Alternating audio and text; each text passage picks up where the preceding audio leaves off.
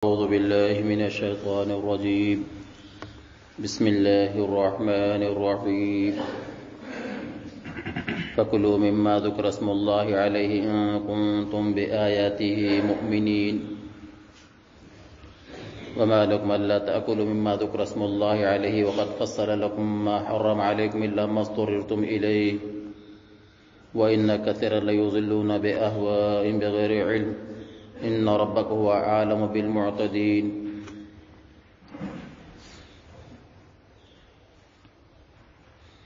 تم کھاؤ اس جانور کو جس پر اللہ کا نام لیا گیا ہے، اگر تم کو اس کے حکموں پر ایمان ہے۔ اور کیا وجہ ہے کہ تم نہیں کھاتے اس جانور میں سے کہ جس پر اللہ کا نام لیا گیا ہے؟ اور واضح کر چکا ہے جو کچھ کہ اس نے تم پر حرام کیا۔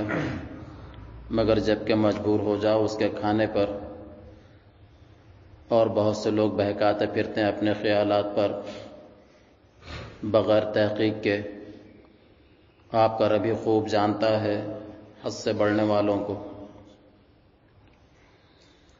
جب دلائل سیاح کی بنیاد پر تم نے رسول اللہ صلی اللہ علیہ وسلم کی نبوت اور قرآن کریم کے حقانیت کو تسلیم کر لیا اور کلی طور پر اس کے احکام پر ایمان لا چکے تو اب و جزیات کی صحت کو تسلیم کرنا ناگزیر ہے۔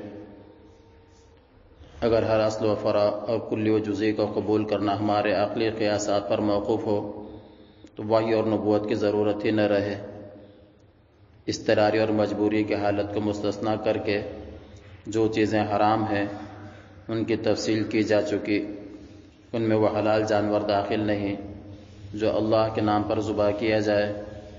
پھر اس کے نہ کھانے میں کیا وجہ ہے؟ مسلمانوں کا عقیدہ یہ ہے کہ ہر چیز کو بالواسطہ یا بلا واسطہ خدا ہی پیدا کرتا ہے اور خدا ہی مارتا ہے۔ پھر جس طرح اس کے پیدا کی چیزوں میں بعض کا کھانا ہم کو مرغوب اور مفید ہے، جیسے سیب، انگور وغیرہ۔ اور بعض چیزوں سے ہم نفرت کرتے ہیں یا مضر سمجھتے ہیں، جیسے ناپاک گندی چیزیں اور سنکھیا وغیرہ۔ اس طرح اس کی ماری ہوئی چیزیں بھی دو قسم کی ہیں۔ ایک وہ جن سے فطرت سلیمہ نفرت کرے، یا ان کا کھانا ہماری بدنی یا روحی صحت کے لیے خدا کے نزدیک مضر ہو۔ مثلا وہ حیوان جو اپنی طبعی موت سے مرے۔ اور اس کا خون وغیرہ گوشت میں جذب ہو کر رہ جائے۔ دوسرے وہ حلال اور طیب، وہ جانور جو باقاعدہ خدا کے نام پر ذبح کیا گیا ہو۔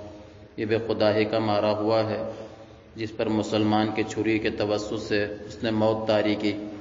مگر عمل ذبح اور خدا کے نام کی برکت سے اس کا گوشت پاک و صاف ہو گیا۔ بس جو شخص دونوں قسموں کو ایک کرنا چاہے، وہ حد سے تجاوز کرنے والا ہوگا۔ گزشتہ کل جو آیات تلاوت کی گئی تھی کہ مشرقین اللہ تعالیٰ کے آیاتوں میں کس طرح شک و شبہ نکالتے ہیں، خود گمراہ اور دوسروں کو گمراہ کرتے ہیں، ان کے بارے میں ارشاد وہیں طب ظن و انہم اللہ یخرسون کہ وہ اپنے گمان اور خیالات کی پیروی کر رہے ہیں اور محض اٹکل کی باتیں کر رہے ہیں جس کے نہ کوئی سند ہے نہ دلیل۔ انہیں باتوں میں سے ان کی ایک بات یہ کہ وہ کہا کرتے تھے، یہ مسلمان بڑے عجیب ہیں۔ جس جانور کو اللہ تعالیٰ مارتا ہے، اس کو حرام کہتے ہیں۔ اور جس کو یہ خود مارتے ہیں، اس کو حلال کہتے ہیں۔ تو یہ کہاں کا مذہب اور کہاں کا انصاف؟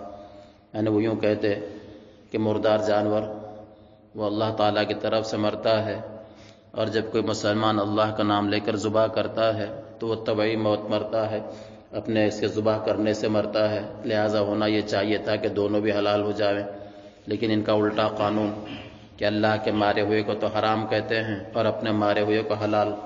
تو اس کا جواب دیا گیا۔ ایک جواب تو حکیمانہ ہے اور دوسرا حاکمانہ حاکم یعنی بادشاہ کی طرف سے جیسے آرڈر ہوتا ہے، کوئی یہ نہیں پوچھتا کہ اس میں تمہاری کیا مصلیت ہے، کیا مرضی ہے۔ اللہ تعالیٰ نے دونوں طرح کے جوابات متعدد مواقع پر قرآن مجید میں بیان فرمائے ہیں۔ حاکمانہ جواب تو یہ ہے کہ بس اللہ تبارک تعالیٰ مختار کل ہیں۔ وہ ہمارے مالک حقیقی ہیں۔ وہ جس چیز کو چاہے حلال قرار دیں اور جس چیز کو چاہے حرام قرار دیں۔ اللہ تعالیٰ کوئی نہیں پوچھ سکتا۔ ہم البتہ پوچھے جائیں گے۔ اور حکیمانہ جواب یہ ہے، جیسی سیاحت میں فرمایا فکل و مادک رسم اللہ علیہ، کہ تم اس جانور کو کھاؤ جس پر اللہ تبارک تعالیٰ کا نام لیا گیا۔ اب اس میں اس کے حلال ہونے کی حکمت یہ ہے۔ ایک تو یہ کہ جب جانور کو اللہ کے حکم کے مطابق ذبح کیا جاتا ہے، تو دم مصفوح یعنی بہنے والا خون، اس کے رگوں میں سے نکل جاتا ہے، جو نجس ہے، ناپاک ہے۔ دوسرا ہے کہ اللہ تبارک تعالیٰ کے نام کے لینے کی وجہ سے اس میں برکت آتی ہے۔ اور اللہ تعالیٰ کا حکم ہے اس لیے فرمائے کہ اس جانور کو کھاؤ جس پر اللہ کا نام لیا گیا۔ اگر تم اس کے آیتوں پر ایمان لے آتے ہو، جیسے یہاں پر حاشیے کی مثال کے ذریعے سے سمجھایا گیا کہ اللہ تبارک تعالیٰ نے دو طرح کی چیزیں اس کائنات میں پیدا فرمائی ہیں اور سب کا پیدا کرنے والا اللہ ہی ہے۔ لیکن بعضی چیزیں مرغوب ہیں اور بعضی چیزوں سے انسان نفرت کرتا ہے، جیسے سیب، انگور، انار وغیرہ، یہ اللہ تعالیٰ ہی کے پیدا کیے ہوئے ہیں۔ اب آدمی اس کو کھاتا بھی ہے اور اگر ایمان والا ہے تو اس پر اللہ کا شکر بھی ادا کرتا ہے اور جیسے زہر ہے، غلازت ہے یا دیگر چیزیں، یہ بھی تو اللہ تعالیٰ ہی کے پیدا کردہ ہیں۔ کوئی آدمی یوں کہے کہ وہ بھی اللہ کا پیدا کیا اور یہ بھی اللہ کا پیدا کیا ہوا، لہٰذا چلو دونوں کو کھاؤ تو اس کے موت واقع ہو جائے گی۔ یہاں تو عقل اس کو گوارا نہیں کرتی کہ سب اللہ کا پیدا کیا ہوا ہے، لہٰذا سب کچھ کھانا چاہیے، مٹی، پتھر وغیرہ، لیکن اس کو برداشت نہیں کرے گا۔ اور جانوروں کے معاملے میں عقلی گھوڑے دوڑا رہا ہے کہ مردار، یہ بھی تو اللہ کا مارا ہوا اور زبا کرنے سے بھی اللہ ہی مارتا ہے، لہٰذا دونوں کو کھانا چاہیے۔ تو اس کا جواب دیا گیا۔ جیسے مشرقین مکہ مردار بھی کھاتے تھے۔ اللہ تعالیٰ نے فرمایا کہ مردار کا کھانا حرام، اس جانور کو کھاؤ جس پر اللہ تعالیٰ کا نام لیا گیا ہے۔ اس رکوع کے آخر تک اسی سلسلے کی آیات ہیں جو جانوروں کی حلت و حرمت کے بارے میں نازل ہوئی۔ اور دوسرے آیت میں فرمایا، تمہیں کیا ہو گیا کہ تم اس کو تو نہیں کھاتے جس پر اللہ کا نام لیا گیا؟ حالانکہ حلال و حرام کی تفصیل تم کو پہلے سے بیان کی گئی ہے۔ تو جانور کے حلال ہونے کے لیے دو چیزیں ہیں۔ ایک تو یہ کہ وہ پہلے ہی سے حلال ہو اور دوسرا ہے کہ اس پر اللہ تعالیٰ کا نام لیا جائے نہ شرعی طریقے پر ذبح کیا جائے۔ اب اگر کوئی جانور بظاہر تو حلال ہے، لیکن غیر اللہ کے نام پر ذبح کیا گیا، جس کی تفصیل سورہ معدہ میں بھی گزر چکی تو اس کا کھانا حرام۔ اب جیسے بکری وغیرہ، بکرے، یہ اللہ تعالیٰ نے حلال قرار دیے ہیں۔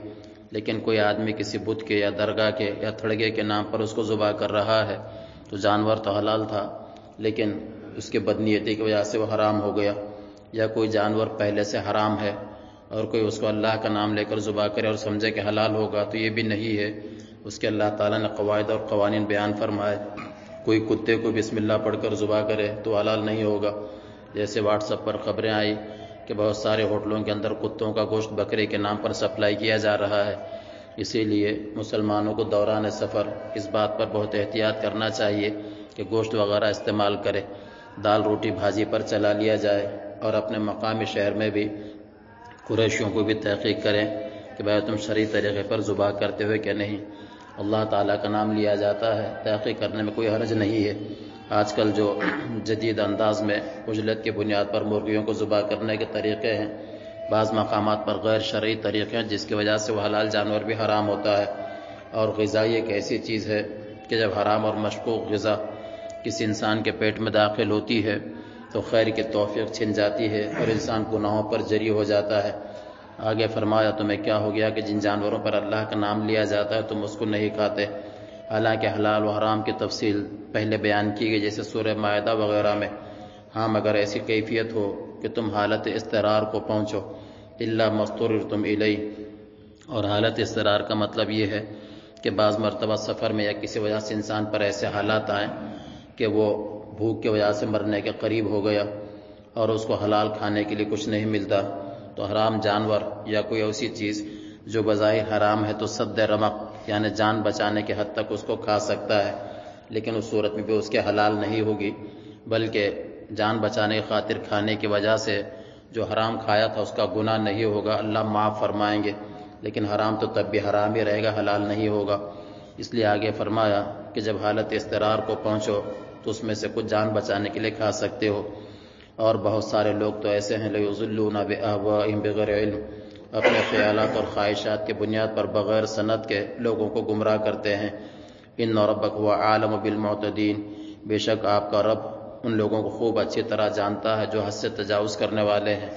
اس لیے بندہ ہونے کا تقاضا یہ ہے کہ اللہ تبارک تعالیٰ کے حکم جیسے ہمارے سامنے آئے، سمعنا و اطانا ہم نے سن لیا اور فرما برداری کی مان لیا۔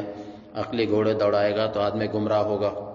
جیسے مشرقین نے کہا کہ اللہ کا مارا ہوا حرام اور ان کا مارا ہوا حلال کل کو یہ بھی کہہ سکتا ہے کہ بہن کے ساتھ ہی نکاح کرنا چاہیے تاکہ گھر کی چیز گھر میں رہے۔ خواہ مخواہ دوسروں کے پاس جانے کی کیا ضرورت؟ تب دیکھو کتنے مسئلے پیدا ہوں گے۔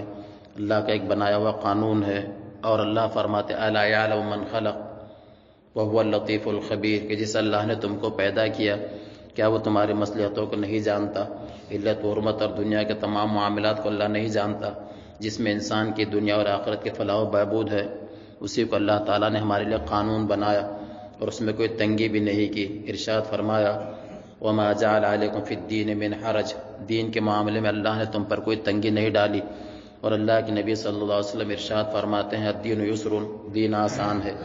حضرت علی رضی اللہ تعالیٰ عنہ کی ایک مثال سے یہ بات اور واضح ہوگی۔